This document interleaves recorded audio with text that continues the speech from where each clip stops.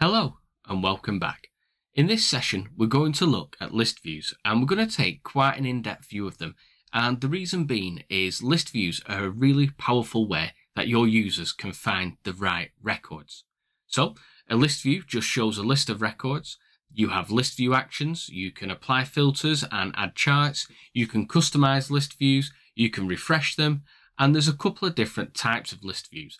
And then we also have the settings side of it as well. But let's head into Salesforce and let's take a closer look together. So here we are in Salesforce and what we're going to do is we're going to open up the account tab. And what we're going to see here is the recently viewed list view. And this is our pinned list. If we click on the drop down, you can see that we have a number of list views. We have all accounts, my accounts, and many more. And if we select the all accounts list view, we can see all of the accounts in Salesforce and we want to make this our pin list. So a pin list is just your default list view that you see when you open up a tab. To do that, we just hit the pin and that has now pinned that list view. So what would happen is if we was to navigate to leads, for example, and come back to accounts, we're going to see the all accounts list view straight away. We can customize list views, which we are going to cover shortly, but for now, I just want to walk you through what we see here. So on the top right hand side, we have our list view actions and these can change depending on what objects list view you're on. But for now, you can see we have new, import and printable view. You can also create list view actions to provide more functionality to your users. Underneath that, we have the search box, which we can use to quickly find records in our list. And then we have a few buttons as well. And we're going to start on the right hand side, and that's where the funnel is. Now this is our filter button. And if we open that up, you can see that we can add and remove filters to make our list of records more relevant. To add a filter, we just need to click add filter and then we can choose the field, the operator and the value. And then when we're done, we just hit done and that's going to filter them for us. So let's say we only want to see accounts where the type is customer direct. We would select the field as type. We would then select the operator as equals and then for the value, we would select customer direct and we'll hit done. Next, we'll hit save. And as you can see, the list is updated with the filtered records. So filters are a great way for your users to focus only on the records that they need. You can apply more than one filter as well, and you can really refine those list views. And you can also include complex logic. So if you wanted to start using complex filter logic using AND and OR, then you can do that as well through here. But we're not going to dive into that in too much detail because you don't need to know it in order to pass your associate exam. For now, we're just going to remove that filter and we're just going to hit save. So it's just going to revert back to what it was. And let's close the filter down. Next, we have charts. And if we click this icon, we can easily add or remove charts and that just helps us visualize our data. We could choose which report that we want to use. So if we had multiple reports, we could choose whichever one it is that we wanted. And then we can also customize the chart type. So we can display it as a vertical bar chart, a horizontal bar chart, or a donut chart. So let's get rid of that chart and let's talk about the pencil icon. And this is just what we can use to edit our list. So that's just to edit any records in our list. So we could say, click that, for example. So we've highlighted that field and then we could click the pencil icon and that allows to edit it. Now, I don't generally use that to be completely honest with you because I just find if you're already on the field anyway, then you might as well just click the pencil icon and just tap it there and update it and hit save. We also have the refresh button as well, and that's just going to refresh our list. We can also edit multiple records at one time. So if we wanted to change, say, the billing state for multiple records in one go, we could just check the boxes and then we could just make the change that we wanted to make. Now, this is called inline editing, and there are a couple of limitations around that. You can only edit up to 200 records in one go, and you also have to make sure that you're displaying one record type only. So that's the only limitations around it, really.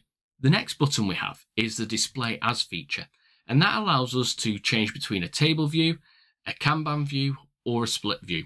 We're looking at the table view at the moment, but let's open the split view just so we can see that in a little more detail. And as you can see, the split view is just like what we saw in the console navigation, only this time the records don't appear in the navigation bar if we open them. The split view is great to quickly work your way through a number of records and find what the record and the detail that you want fast. You can collapse or expand the split view just using the arrow, and you still have access to all the list view actions at the top, and you can still refresh it, but you don't have access to some of the other features that you would get in a table view.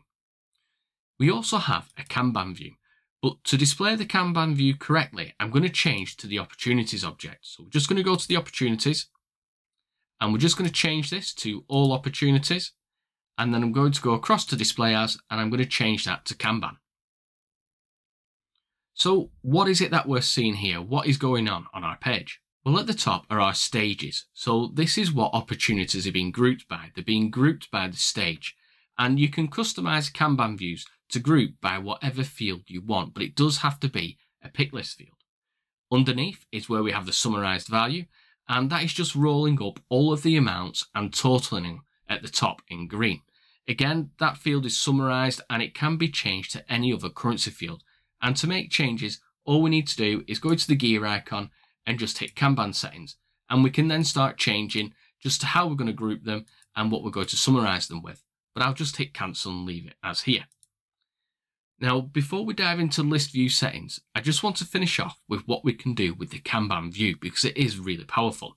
And one of the huge advantages of Kanban is that you can easily drag and drop records from one grouping to another.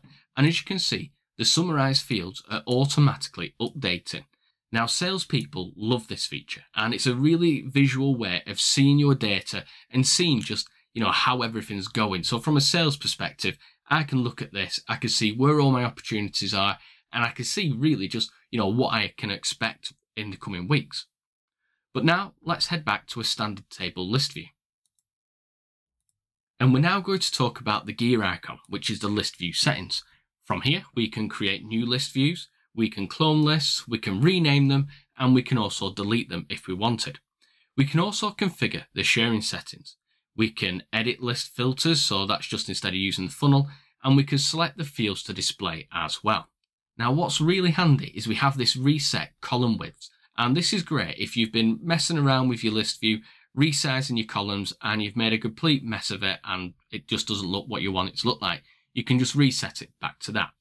But let's start with creating a new list view. So if we hit new, what we're going to do is give it a list view name. So we're just going to call this low value opportunities.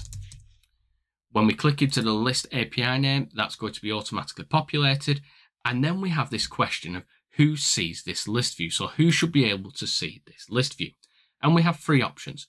We have only I can see this list view, which means that only we can see it. We have all users could see this list view, which would mean that everybody could see it. And then we can share this list view with a group of users. And we can again choose between roles, roles and subordinates, or public groups if we have public groups set up in there. For now, we're just going to leave it as only I can see this list view, and we're just going to hit save. Now we need to create our filter, so we need to apply a filter to it. So we just go to add filter, and this time we're going to search for amount, and we're going to say that this is low value opportunities. We're going to say we want low value opportunities which are less or equal to, say, 100,000. And we'll just hit done. And then we'll hit save. And as you can see, we can only see low value opportunities now. So anything that is less than £100,000. But what about if we wanted to create a list view for high value opportunities? We could do that really, really quick. Now, we could just go and create a new list view as we've done there, but there's another way. Because we've already kind of got what we're looking at, we just need to change the amount bit. We're just going to go to the gear icon, we're going to hit clone, and then we can start changing it. So we're now going to call this high value opportunities. We'll leave the API name as it is, and we'll leave this list view as only I can see this list view, and we'll hit save.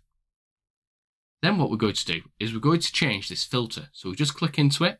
We've got the amount already, but we're going to change that to greater than or equal to, and we'll say 250,000.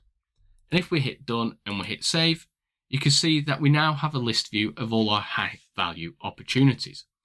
But what about if we weren't seeing all the information that we wanted to see there? Well, we, we don't want to be clicking in and out of records. So what we can do is hit the gear icon and we can hit select fields to display. and we can just add whatever it is that we want in there. So you can see we could choose between our different fields. So these are all the fields that we actually have on those opportunity records. And we can just pop them across there using that. And then we could just get rid of whichever ones we didn't want. And another huge advantage of this is you can just rearrange the columns as well. So how they're going to display just by clicking up and down. And then if we hit save, you'll see that this has all been changed now. So we've now got a highly customized list view. So before we move on, I just want to quickly summarize list views just so you're fully aware of the power within them. As we know, list views show a list of object records and we can configure the actions. So we have list view actions. We can also configure filters. We can add charts. We can customize list views. We can refresh them and we have the three separate types of list views as well.